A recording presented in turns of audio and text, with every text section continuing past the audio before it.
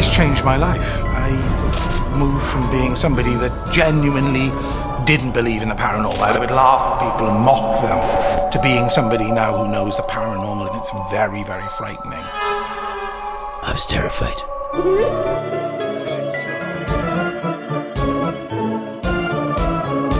Frightening.